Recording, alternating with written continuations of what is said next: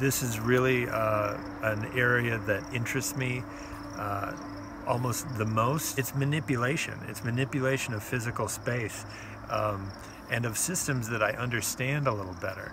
It's making and tinkering and uh, trying to squeeze everything out of what you have.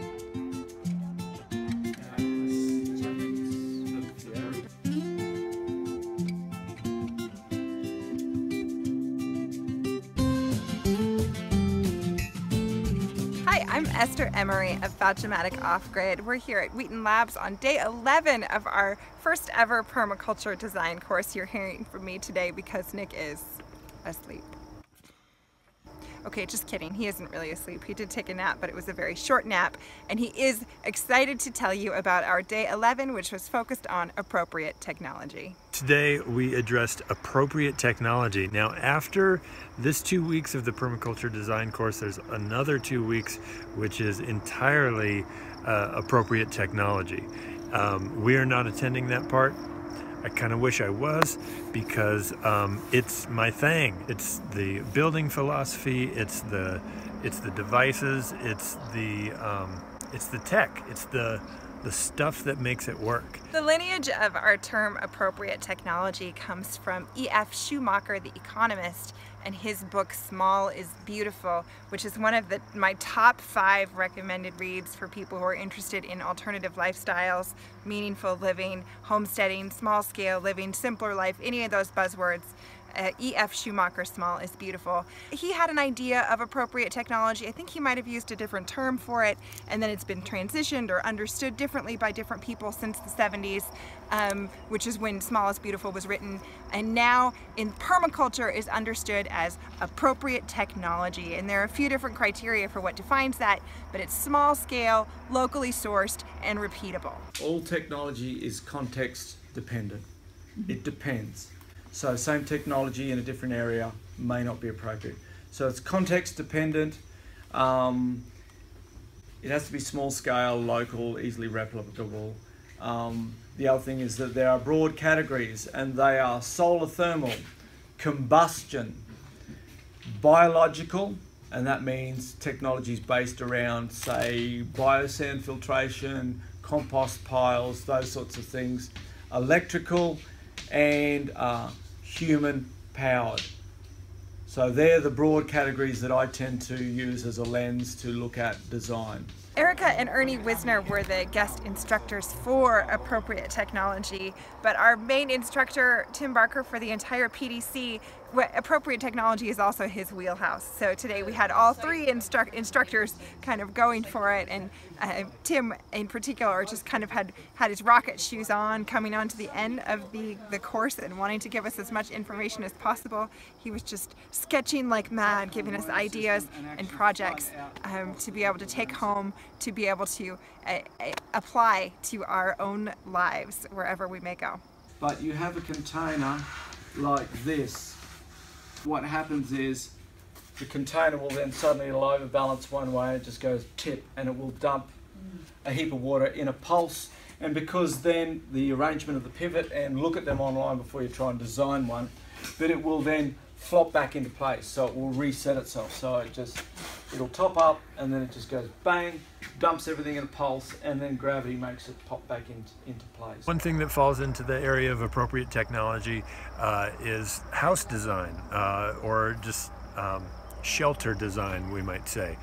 Um, so we went over the basics of passive solar design, which I was somewhat familiar with, but uh, you know, it's one of those things that you can kind of dabble in and take some ideas from, but you're not really executing it unless you look at all of the criteria within passive solar design. So here you can see that the high sun angle actually has a very small width of sunbeam that's allowed in. Sunbeams tend to be all a whole bunch of parallel light.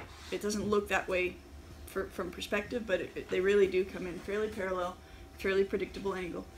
And so at noon in the summer, summer solstice, you're really only making a foot wide sun patch. And you can see where if you brought that eave out a couple of feet, you could block that entirely if you wanted to. It's a little much for me to be able to regurgitate on the spot, but it involves uh, carefully siting your house and building it in such a way that it is able to use the power of the sun, uh, warmth and light and, and its energy to both um, keep your house warm in the winter, it can keep your house cooler in the summer, tying surfaces to the earth uh, in order to get a uh, a constant temperature. The earth is one of the most temperature stable things there is. So if you're able to tie your living space into the earth, you're going to spend a lot less energy heating and cooling and riding those hills and valleys uh, of the temperature spectrum, especially where we live, where there's such a wide temperature swing day to day and season to season. So passive solar design um, is a key part of uh, sort of using less energy and being, you know, designing smarter uh, in order to uh, not work so hard. Everything we do with solar passive is a moving on that theme. So this, that's a solar oven. If we increase the insulation and make lots of surface area and double glaze. It's a solar food dryer if we have big collection area, but we also add airflow.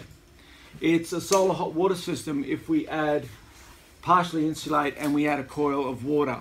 We also took another look at composting toilets and talked about why you would do it and uh, a couple of different ways how. Um, we've already talked a lot in the class about um, you know successes and failures of different systems reasons uh, you know and a lot of those failures are reasons why people don't think it's a good idea uh, on a on a big scale. So we looked at a couple different systems, including a two chamber system, uh, which really reduces the amount of handling that you have to do of any material, which is really an attractive option for me. And we actually have the possibility of incorporating that back into our house design. Uh, we looked at uh, the bucket system and we looked at uh, a couple other different ways of doing it but it's yet another thing that people can do that uses less energy and sort of closes the nutrient loop.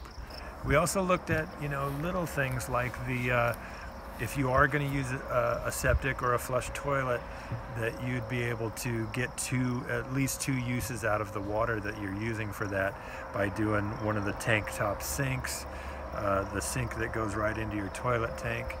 Um, so it's little things like that, working around the margins of efficiency to uh, to make things easier and use less uh, resources. And of course, Ernie and Erica uh, talked about fire.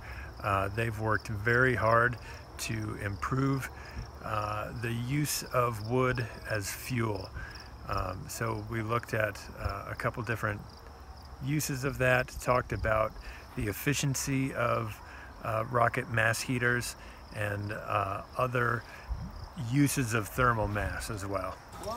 Speaking of experts, um, Tim Barker, the uh, the instructor for this course, uh, has an ebook out, uh, which is an instructional uh, book on how to build a rocket-fired oven uh, and we've used one here at the lab, helping to cook dinner and, and do different things. Uh, it works really well. It's crazy how fast this oven heats up with this much wood. He's written it in such a way that um, it, even if you don't have welding equipment, if you have just sort of a bare bones tool set, you're able to get this thing working and really benefit from you know his work and other people's work that has gone into sort of innovating this uh, this rocket technology. So it's these types of projects that are really worth taking a look at. If you're interested in uh, using less fuel um, and doing something for yourself, uh, this line of appropriate tech is um, it's something that you should be studying. My, my takeaway from a lot of this is that electricity is wonderful and great, but only use it for those things that you cannot replace it with. So, um, you know, computers, they need electricity to run. So that's fine. You're not going to replace that with a combustion technology unless you're using heat energy to make electrical energy. So by by reducing our needs on complex systems, then we make ourselves more resilient. The kids made some bird nests to go with the paper birds that Stuart has been making for them.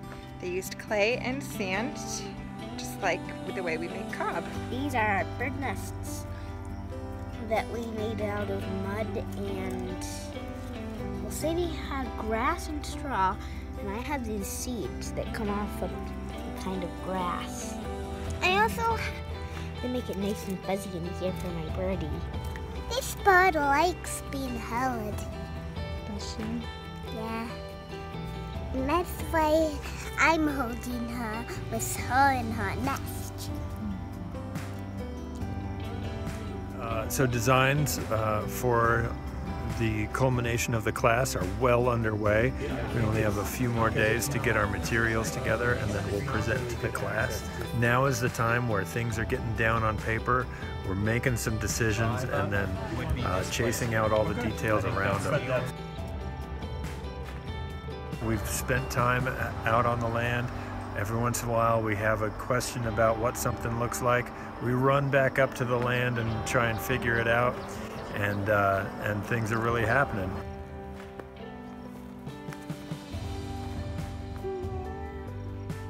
was our hottest day yet today and the kids are pretty near rebellion. The pressure's on Nick to be able to make it through and make the most of this course in the last couple of days remaining here while his family is, is really ready to go on to the next thing. So everybody send good cheers to Nick and encouragement that he can do it and we'll do our best to see it through.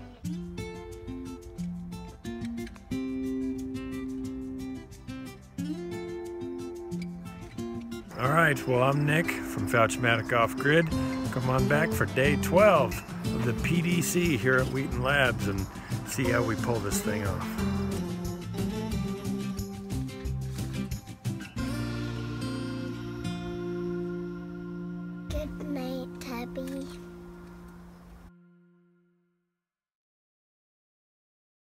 Night, little birdies and little nestsies.